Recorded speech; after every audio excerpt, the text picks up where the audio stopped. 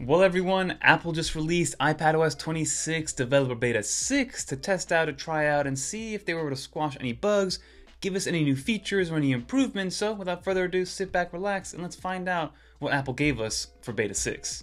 Let's get into it. But now, if you do enjoy videos like this one, where we keep you up to date on all things public beta and developer beta when it comes to iOS and iPadOS, consider subscribing to the channel. But now, let's talk about iPadOS 26 Beta 6. Well, everyone, let's hop right into this. And like I mentioned, we are on iPadOS 26 Beta 6, and I'm using my M4 iPad Pro, the 13 inch variant, so you guys get an idea of what the build size and build number are. So if we go into our photos, you can see that it's about 10 gigabytes of space that needs to be taken up, so give yourself at least 20 gigs of open storage in order to get this installed and installed correctly, and leave some comments down below of how big the update size was for you guys. I'm always curious to know what the differences are depending on what piece of hardware you have.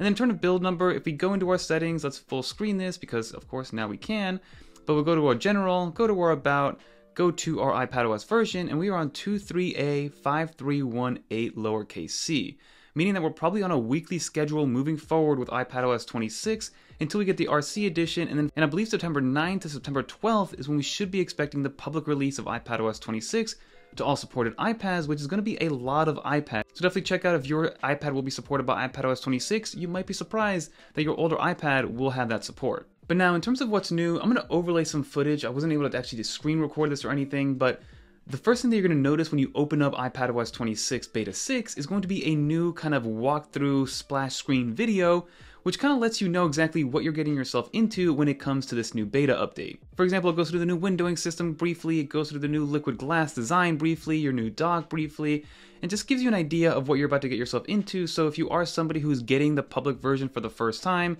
you're not dealing with any of the betas, the public or the developer beta, and all the new windowing stuff is going to be just brand new to you in September. This is just giving some people the idea of, hey, this is what it's going to look like. This is kind of the new navigation style of the new windowing system for iPad OS. So definitely get used to it. And I'm glad that they did that to, again, bring people some context as to what exactly is going to happen with their new iPad. And then in terms of what's actually new, the one thing that we did notice is if we go into our settings and if you go down to sound, Apple did give us some new ringtones early on in this beta update, but if we go into sound and go into this reflection standpoint and go to default, you can see that we got a bunch of new ones. So we have the default one, we have the buoyant one, dreamer, pond, pop, reflected, surge. These are all brand new ringtones that were added to both iPadOS and iOS. So if we click on one of them, so if we click on them, you can hear them, they're kind of nice.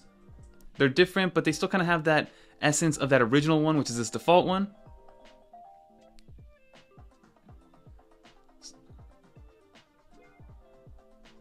So they're sort of all a different instance of each other, just kind of with different formats and different overlays. But at the end of the day, you know, new ringtones are always an added welcome bonus whenever you're talking about a new beta update. And then the other thing that you notice right away is just how much quicker apps are opening. So if I open these apps up, they're opening up extremely quickly and there's kind of a new animation that's almost kind of like a genie in a bottle situation that's happening, which I think is really cool. So it kind of like slides out depending on if you're going with a big size or if you're going into windowed mode.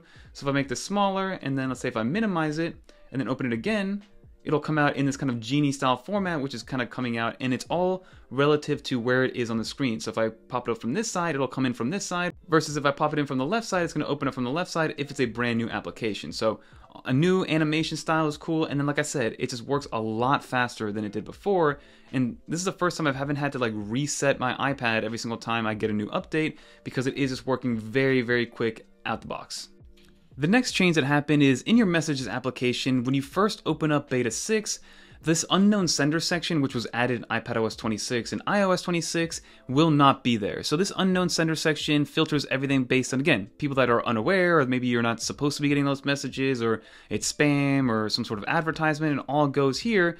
And what Apple did is they actually removed that as by default. And if you go into your settings and go into your messages, you have a new toggle and section over here for unknown senders. So screen unknown senders is now a toggle, so you can toggle it off.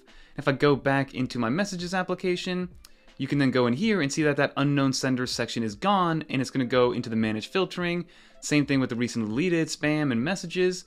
So if I go back there, I can actually toggle back on, it'll come back. And then also, you can then allow for notifications because by default, before, if something went into your unknown sender section, you would not get a notification because again, it's an unknown sender. You get that little badge that you know, hey, you have a few messages in this unknown senders category, but you would not get a notification. You can now toggle that on if you would like to.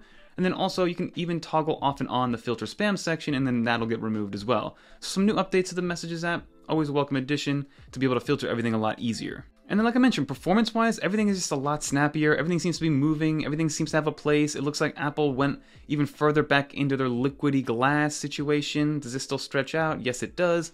So, for the most part, everything has stayed the same. We got a couple new things, but let's look at the actual battery life perspective and how we did with Beta 5, especially. So, if we go into view all battery usage, you can see that we're getting about 3 hours and 17 minutes of screen on time, but on a day like Thursday, 4 hours and 44 minutes of screen on time. So the battery life does vary depending on the day, depending on the task, but I haven't been worried about my battery life when I am using it, and I use it for hours on end every single day. Of course, I plug it in when necessary, as you can see here when I do charge it. On day like Friday, we got 4 hours and 15 minutes on a 48% charge, so we easily could have gotten 8 hours of some intensive work with LumaFusion, the Files app, and Blackmagic taking up a lot of that battery life. And then just as I continue to say, things feel snappier, apps are opening up faster. It's early days with Beta 6, but leave a comment down below how you're feeling about Beta 6 overall, what you've noticed, if anything different at all, because overall, things just seem to be snappy, everything seems to be there where it needs to, and then again, things are just resizing and moving super, super quickly, as well as all the apps opening very seamlessly. So all that is amazing, but that's all the changes that we saw with Beta 6. Again, these are all going to be more bug improvements and bug fixes overall versus anything drastic that's changing, but let's finish up this video. So that will just about do it for this update, everybody. As you saw, there wasn't a ton of new changes or differences. It'll, everything just kind of got a little tighter. Everything seems a lot smoother. We got some new animations, a bunch of new ringtones, which is great.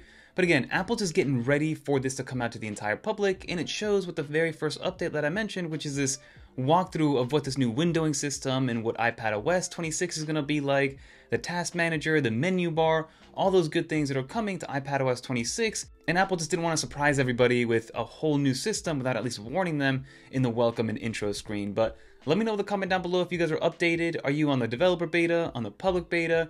Are you just going to wait until the first week or second week of September to put it on your main iPad when the public version is out?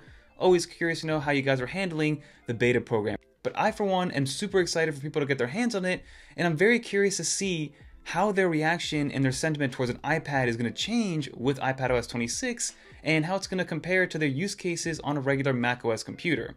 Curious to know, but that'll do it. If you made it to the end, leave a little dolphin so I know you made it to the end. And if you want to watch more videos like this, check out one of these videos right here. Until next time, I'm Fernando.